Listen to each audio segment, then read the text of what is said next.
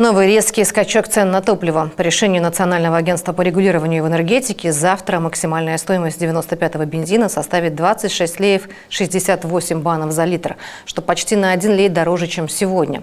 Дистопливо вырастет в цене почти на 2 лея и будет заливаться по 25 леев 2 бана.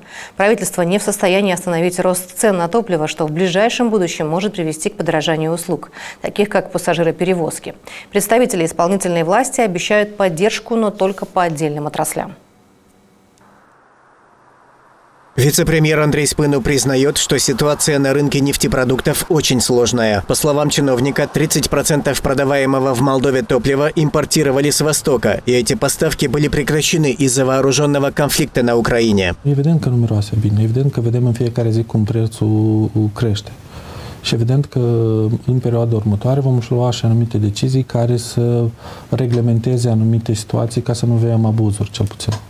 Спыну признает, что в этих условиях пассажирские перевозки могут снова подорожать, и это повышение будет оправданным. Перевозчики потребовали, чтобы правительство разрешило им корректировать тарифы в соответствии с ценой дистоплива, установленной Нацагентством по регулированию в энергетике. Правительство озвучит свое решение на этой неделе. Acum suntem în situația în care avem creșteri extrem de mari la prețul de uh-huh. și eu am discutat cu dânsi și ne gândim la un mecanism cum să, să ajutăm.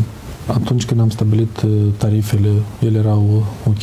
De atunci am avut creșteri, de când s-a, în mod special de când s-a început războiul, avem creșteri considerabile la моторины. И премьер Наталья Гаврилица, комментируя тревожный рост цен на бензин и дистоплива в последние дни, заявила, что правительство может оказать поддержку только определенным отраслям экономики. Aceste prețuri cresc la nivel internațional, discutăm despre măsuri țintite pentru anumite categorii de exemplu, dacă putem acorda un anumit ajutor agricultorilor sau transportatorilor sau altor categorii care vor fi în special afectate de aceste creșteri de preț.